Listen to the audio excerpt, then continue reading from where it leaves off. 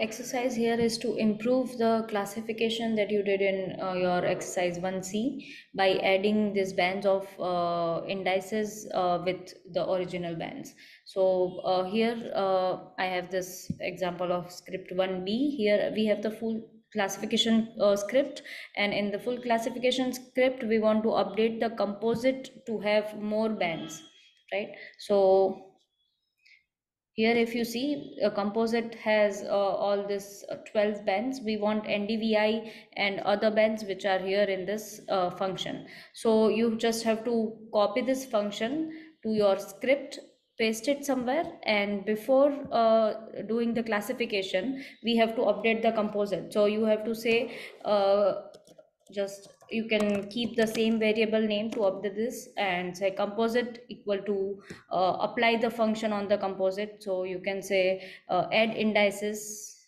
composite. So to